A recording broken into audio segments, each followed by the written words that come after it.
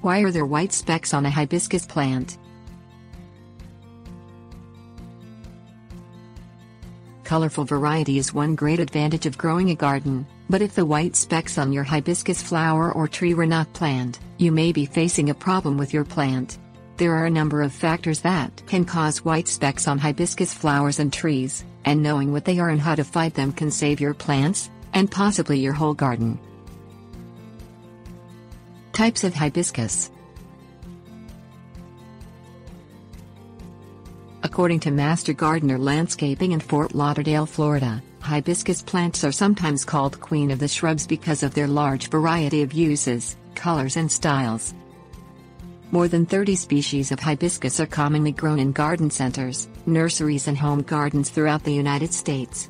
Fancy hibiscus species create captivating colors, and are often shown at professional gardening shows.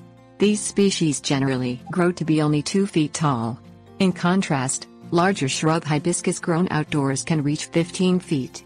Some also grow as small trees. Specks on plants. The white spots on your hibiscus can vary depending on the type of hibiscus you grow. If you are growing shrubs or small plants, white spots on the leaves can be a sign of sun stress on the plant. According to Hidden Valley Hibiscus in Bonsall, California, hibiscus react to sunlight like humans do. Moderate sunlight will help a hibiscus plant grow and thrive, but too much can be dangerous. Like sunburn on human skin, the small white specks are a sign of too much exposure to direct sunlight. Treatment for plants.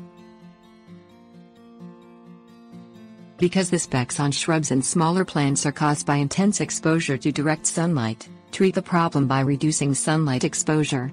Move houseplants to an area where they will receive less direct sunlight, or move them out of the sun after 2 to 3 hours of direct sunlight. For shrubs or plants outside that are harder to move, consider planting taller trees or shrubs next to your hibiscus as the sun travels overhead, it will be partially obscured by the taller plants, providing the hibiscus some relief. You could also pitch umbrellas or awnings near the hibiscus after 2 to 3 hours of direct sunlight each day to reduce sun exposure. Specks on trees. White specks on hibiscus trees often appear on the trunks and branches. Unlike the spots on the flowers or shrubs, these specks are not caused by the plant itself. White specks on a hibiscus tree are an infection caused by an insect known as Pinnaspis strachani, or snow scale. Snow scale is extremely common in the southern and eastern areas of the United States. The bugs attach themselves to tree bark and feed off the tree's nutrients. Treatment for trees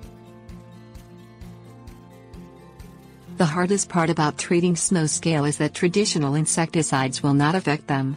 The creatures live within a thick, protective shell that insecticides cannot penetrate.